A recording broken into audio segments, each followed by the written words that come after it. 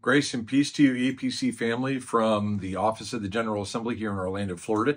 Dean Weaver, your state clerk, bringing you the news that we're getting ready to ramp up our social media presence in a better effort to connect and communicate with you what God is doing in and through the EPC. So you want to be on the lookout for EPC dot OGA, epc.oga. You'll find it on Facebook, Instagram. You want to be looking there for updated information where we'll be giving you resources that will be helping you and your church carry out the Great Commission, which of course is the mission of the EPC. Um, information about upcoming General Assemblies, seminars that we might be offering that would be a benefit to you, or uh, a video series we're considering called EPC Did You Know? Kind of a, a looking inside of the operations of the Office of the General Assembly. So be looking for that coming your way soon. Probably going to upgrade and freshen our logo, all that kind of good stuff. But remember, epc.oga.